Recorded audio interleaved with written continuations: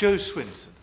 Thank you very much indeed, Mr Amos. And uh, I would also like to congratulate the Honourable Member for Islington uh, North for securing this debate. Uh, one and a half hours seems, uh, uh, unfortunately, a short amount of time to be able to thoroughly cover the many issues in what is a huge uh, continent. But uh, nonetheless, it's good that we've been able to uh, raise so many of the different aspects uh, of, uh, of the issues uh, affecting that continent and the UK's relations with it uh, in this short debate today. Uh, I think it's a particularly important uh, debate to have because I think in foreign policy terms, It's often easy to overlook uh, a region like Latin America when there's the, the daily news headlines about the latest crisis between Israel and Palestine in the Middle East, uh, the ongoing threats about uh, Iran and uh, potential nuclear capability, uh, the geopolitical uh, changes with Russia and China, and indeed uh, the military action that we're engaged in in both Iraq and Afghanistan. So uh, it's often the case that uh, Latin America uh, is, is not necessarily top of the agenda. and that's why it's important that we do um, in this Parliament find the time to, uh, to discuss these issues. Uh, obviously, uh, uh, like other members, I was uh, particularly intrigued to hear from uh, the honourable member who opened the debate because of his uh, more than a quarter century of, of interest in this issue and indeed great knowledge and expertise, having had many visits to, to Latin America. Um, and it was also fascinating to hear about the recent parliamentary delegation to Bolivia as well, which I always feel that having visited a place gives you an additional sort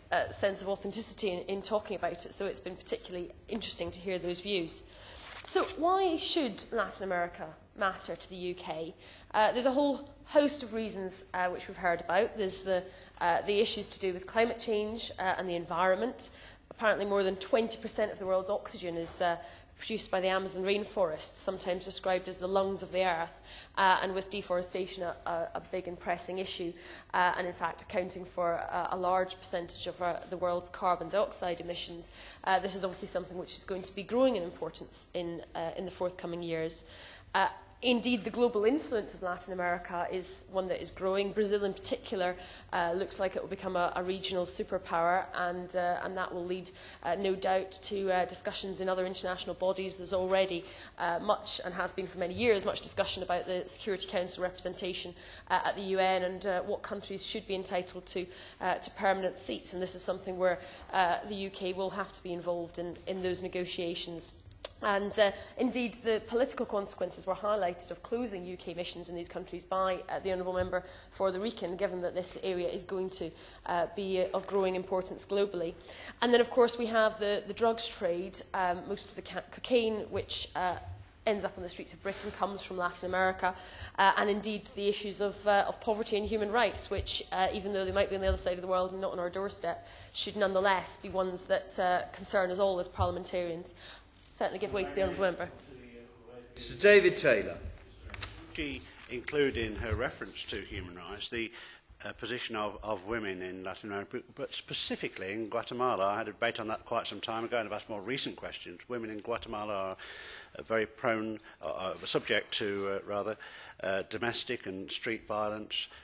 rape and murder at horrific levels, and uh, much more needs to be done by countries like our own to promote human rights, particularly to indigenous women, and uh, to uh, help them get access to the uh, Guatemalan uh, system of justice. The, the position of women in that country is absolutely bleak and dire.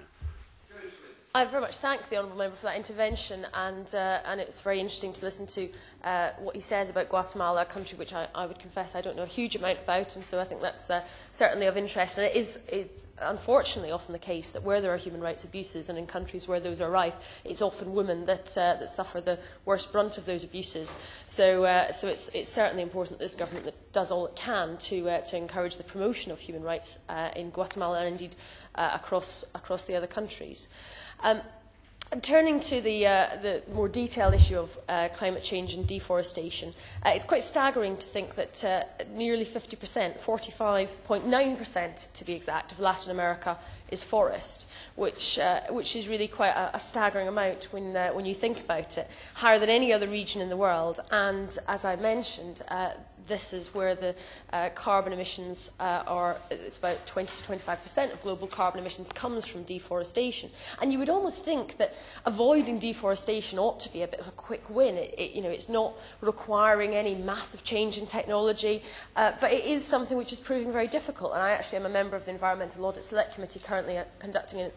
uh, inquiry into the very issue of deforestation. We recently vis visited um, the Congo Basin uh, and Cameroon, uh, which obviously is on a different continent but very similar issues. And of course, how we manage as a, as a world community to avoid deforestation, but still to make sure that we keep the rights of uh, local indigenous indigenous people who are living within the forest uh, is a very difficult balance to strike, and I don't think we're uh, anywhere near there yet with being able to have a system of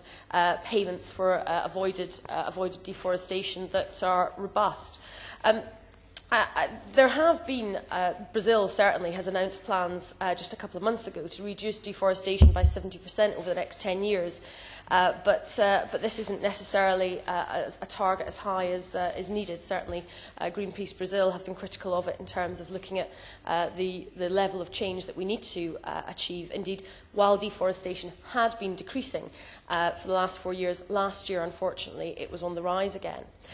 Another uh, environmental issue is that of biofuels. And, uh, and obviously, uh, while there can be advantages to biofuels in reducing deforestation, Brazil produces a huge amount uh, of, uh, of sugarcane uh, ethanol, and that, in fact, can be quite a,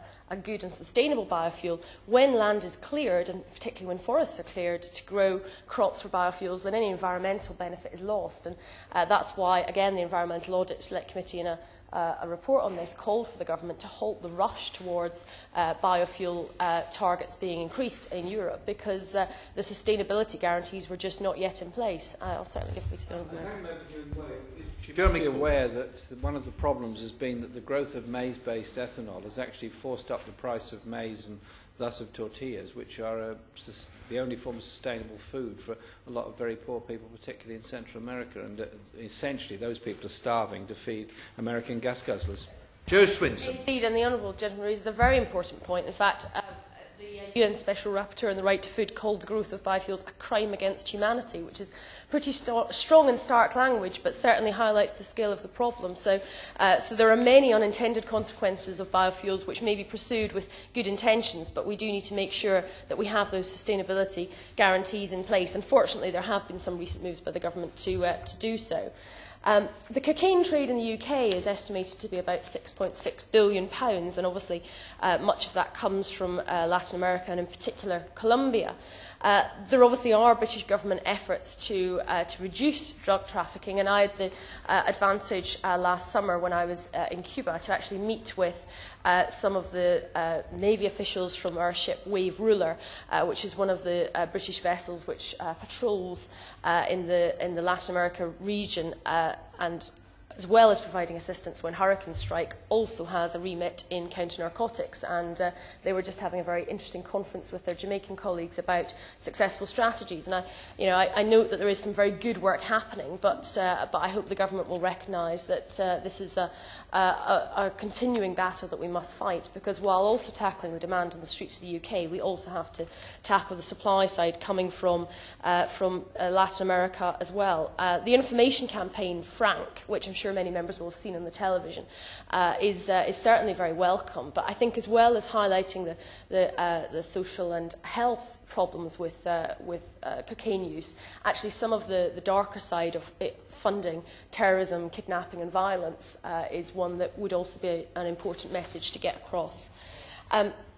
there was some interesting contributions about the economic development within Latin America, particularly in terms of the uh, improved quality of life in Venezuela, such as uh, better water supply, uh, better narrowing of the equality gap. But there is still huge inequality within Latin America. I think within uh, Brazil, the, the top 10% earn 44.8% of the income in that country, whereas the bottom 10% earn just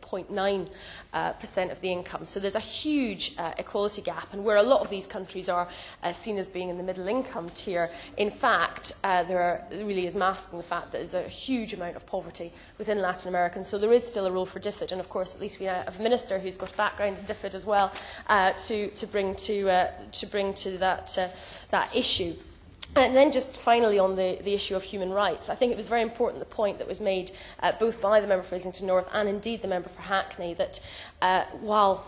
uh, Hugo Chavez or Evo Morales, we may or may not agree with their ideological standpoint, but nonetheless, their very election uh, as members of the indigenous uh, population within those countries is a great step forward. There are still many human rights challenges uh, within Latin America, and in particular, I would like to see the government doing more in terms of, uh, in Colombia, the support we give to the Colombian military. The recent Foreign Affairs Select Committee report found widespread and systematic killing of civilians. Uh, if we're supporting training of the Colombian military and that is what is going on, then I think that really needs to be uh, rethought because uh, there seems to not be appropriate guarantees uh, that, uh, that those human rights are being protected. And that would certainly be one area where we clearly have a little bit of leverage uh, that we could uh, call for uh, an improvement in the, the human rights there. Uh, and just finally, because I visited Cuba last year, I would like to say that I think, I hope there is some optimism uh, for that country um, with, uh, with the new change of the uh, administration in the US. And when I was there, I found, and it was obviously before Obama was elected, but a huge amount of optimism within that country as well, because the Cuban people want to have relations with the rest of the world. Uh, and indeed, I believe that the internet will be a great, uh, a great leveler within Cuba, because ultimately, although there's tried to be by the administration a, a segregation of Cuban from non-Cuban, whether that's financially with a different currency or whether that's actually in terms of where they're allowed to go. Uh, ultimately, they can't keep